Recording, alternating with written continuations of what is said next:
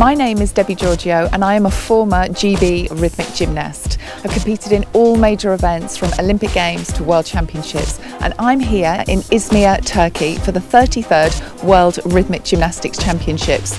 Just to kind of give you my opinion of how these individual apparatus finals have gone.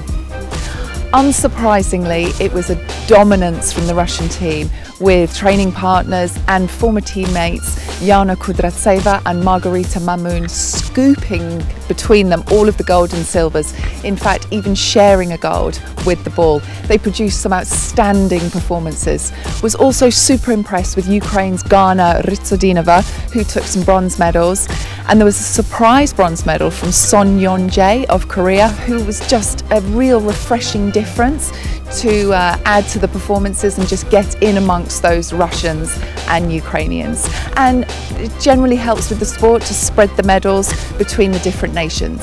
So all in all, here at Izmir, Turkey, been a fantastic couple of days with these individual apparatus finals.